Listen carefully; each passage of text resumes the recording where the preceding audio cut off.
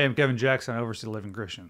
Welcome to our brand new podcast, Bible Reading and Coffee Drinking. On this podcast, we're going to be uh, reading a chapter of the Bible, drinking a little bit of coffee, as well as talking a lot about Jesus.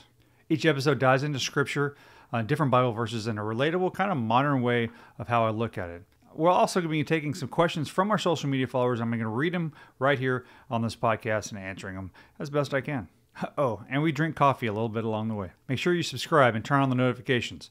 Uh, although we'll be focusing on kind of reading the Bible and drinking coffee, uh, there's going to be some interviews along the way with some friends of mine. I'll also be doing some random messages that God puts on my heart and putting them out to you. You know, make sure you follow us on the various social media platforms Instagram, Twitter, TikTok. We're on all of them. Uh, and also, make sure you check out livingchristian.org. Uh, there, you know, we put together a, a, whole website with Bible verse lists and Christian blogs, even an apparel store uh, with t-shirts, hoodies, hats, all sorts of stuff. It's all available at livingchristian.org. Until then, I hope you get a lot out of this, whether you're listening in your car or, or watching it on YouTube, uh, wherever you're consuming this right now. I hope God speaks through me to you and uh, puts something on your heart. Until then, hope you enjoy the episodes. God bless.